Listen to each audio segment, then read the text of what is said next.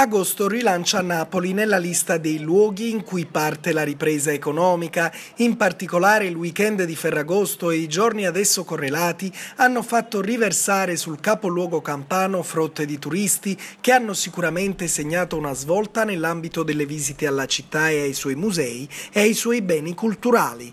Complici i saldi e una rinnovata consapevolezza delle aperture in periodo estivo, turisti soprattutto stranieri hanno speso nei negozi di via via Toledo e Chiaia con una spesa mirata per determinati tipi di esercizi e prodotti, i più gettonati quelli artigianali tipici dell'arte manifatturiera locale.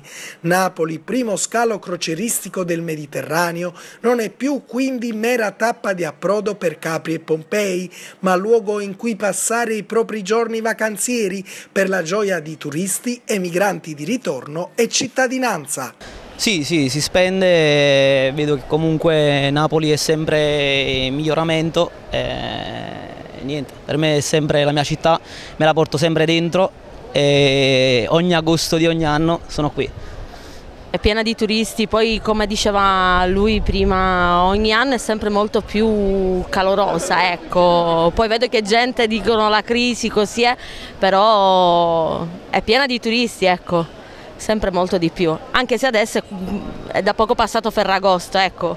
Sono contento di aver visto tante persone, eh, tanta gente, soprattutto pulita, e anche il servizio d'ordine presente, quindi sono contento che i turisti ritornino a Napoli, adesso sta a noi napoletani non farli scappare. Tutto molto bello, sì, assolutamente. E da dove viene? Reggio Emilia. E che ne pensa della città?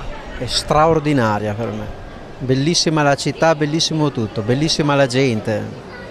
E la pizza. E la pizza. E soprattutto la pizza. Bellissima, molto bella, è sempre affascinante. Davvero bella, molto bellissima.